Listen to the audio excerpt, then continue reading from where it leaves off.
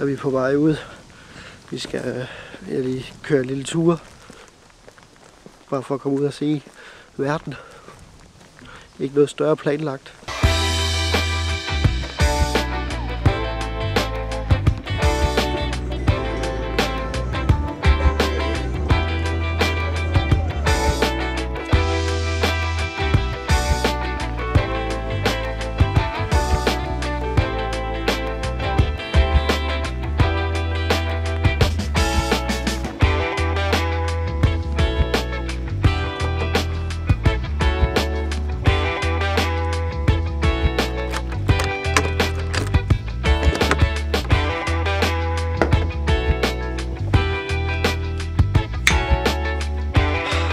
Vi at få det.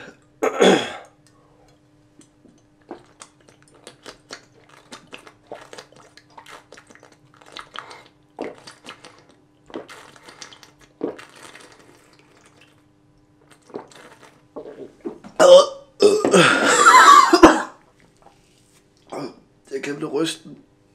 Ja. Åh, han er virkelig vågen for middagslur, og jeg vil bunde en kok jo mere. Sådan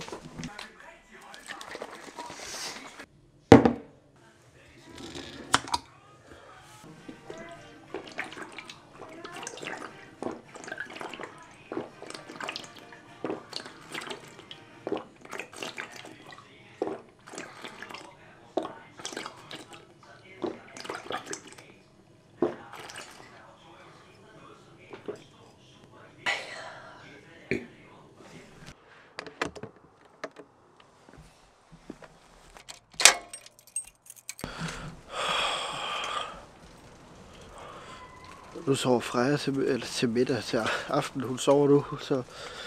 Øj. Jeg bliver altid helt øre i hovedet, efter jeg har puttet hende. Og jeg havde sagt til mig selv, at jeg skulle begynde at komme ud der, efter jeg havde gjort det, men...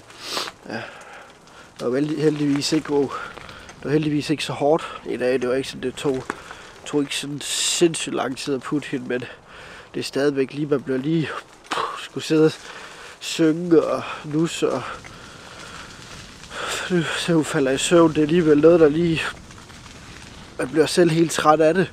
Så ja, lige nu er jeg lige cyklet, cyklet lige ned i Netto. Øh, både for lige at få noget luft. Og nej, vi skal ikke købe noget til hendes madpakke. Vi har altid madpakken i morgen, når hun skal i vuggestue. Så det er egentlig bare lige en tur derned for at få noget, noget sodavand, tænker jeg. Få noget luft. Så lad os komme derned.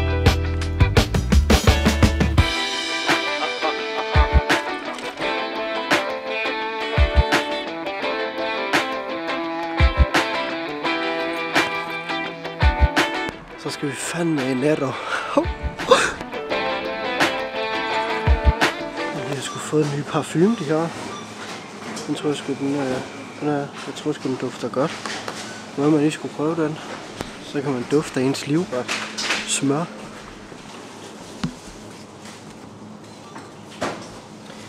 Jo.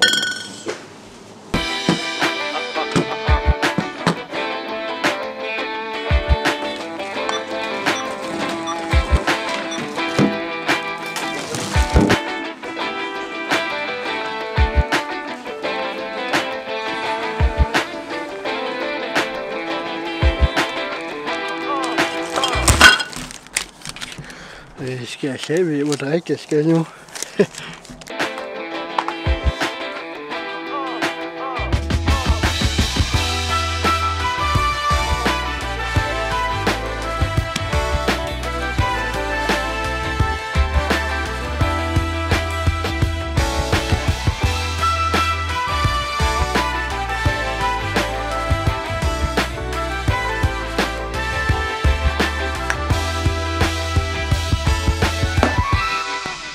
Smutte i seng nu. Tak fordi I så med. Vi ses i morgen. Hej.